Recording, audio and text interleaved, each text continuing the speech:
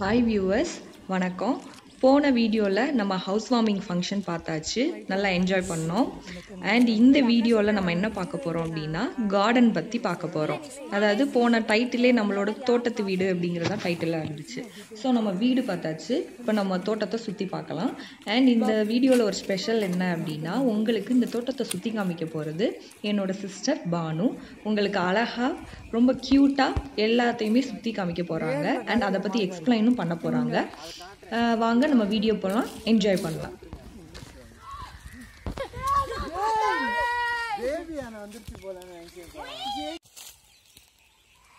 Hi guys நாம இப்போ மாங்காய் தோப்புல இருக்கோம்.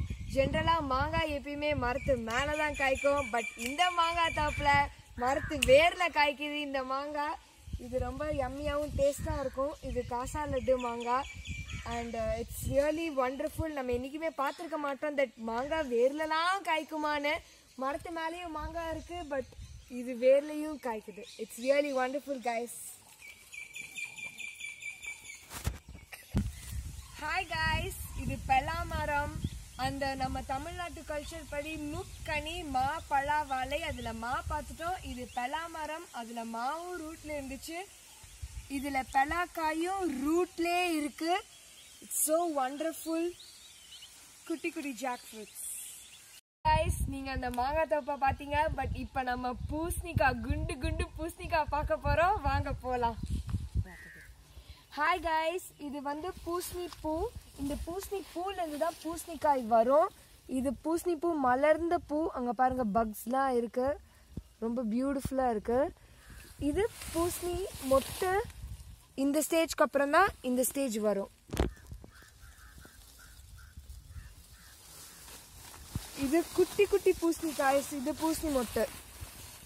ரொம்ப குட்டி குட்டியாக இருக்கும் பாருங்கள் ஸோ இது அந்த பூசணிக்காய் இது அந்த பூசணி பூ இதுலேருந்து அந்த பூசணிக்காய் வருது. ஆக்சுவலி டிஃப்ரெண்ட் ஷேப்ஸ் ஆஃப் பூசணிக்காய் இருக்குது அதில் ஒன்று தான் இந்த இது. இது ரொம்ப பெருசாக இருந்தது. அங்கே நம்ம ரவுண்டாக பார்த்தோம். இங்கே பாருங்கள் இது ரொம்ப பெருசாக இருக்குது இது ஒரு டிஃப்ரெண்ட் ஷேப் ரொம்ப எக்ஸைட்டிங்காக இருக்குது guys it's so wonderful so guys நம்ம வீடு பார்த்தாச்சு தோட்டம் பார்த்தாச்சு அதில் நிறையா ஃப்ரூட்ஸ் பார்த்தாச்சு எல்லாம் பார்த்தாச்சு. பட் நம்மளுக்கு எங்கேருந்து தண்ணி வருதுன்றத பார்க்கல. நம்மளுக்கு இந்த கிணத்துலேருந்து தான் தண்ணி வருது. இந்த கிணறு எவ்வளோ ஆழம்னு பாருங்கள் செம்ம டீப்பான கிணறு.